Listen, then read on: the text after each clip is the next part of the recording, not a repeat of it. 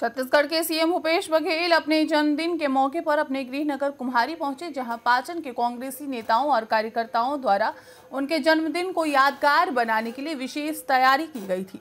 मौके पर करीब 2500 लोग कांग्रेस में प्रवेश किए। आपको बता दें कि मौके पर मुख्यमंत्री भूपेश बघेल ने कहा कि अब की बार छत्तीसगढ़ का चुनाव ईडी वर्सेस कांग्रेस में होगी। किसानों की बातों को लेकर गदर पिक्चर का उदाहरण देते हुए मुख्यमंत्री ने कहा कि किसानों की प्रतिष्ठा उस समय दाव पर लग जाती है जब बैंक वाले उसके ट्रैक्टर को खींच कर ले जाते हैं।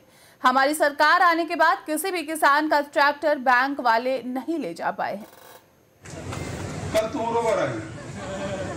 साहब क्या मानना जब ईडी चुनाव तक ऐसी ईडी चुनाव लड़ रही है।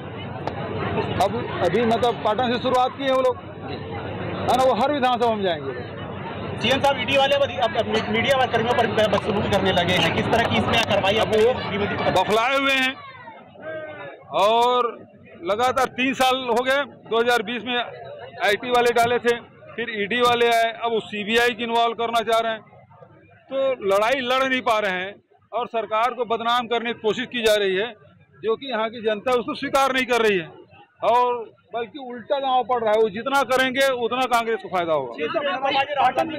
होने वाली है ईडी से तो क्योंकि उसकी शुरुआत अब हो गई साहब आपके जन्मदिन पर आज आपकी जनता ने पाटन के लोगों ने आपको एक विश्वास दिलाया है कि चुनाव में लड़ेंगे। बिल्कुल यहाँ के मतदाता और यहाँ के कार्यकर्ता चुनाव लड़ेंगे। भूपेश बघेल तो प्रतीक है यहाँ हर मतदाता हर कार्यकर्ता भूपेश बघेल बन के चुनाव लड़ेंगे। पिछले समय सत्ताईस हज़ार जीते थे इस समय उससे भी ज़्यादा वोट जीतेंगे। ठीक है। थैंक यू क्या मानना जाता ईडी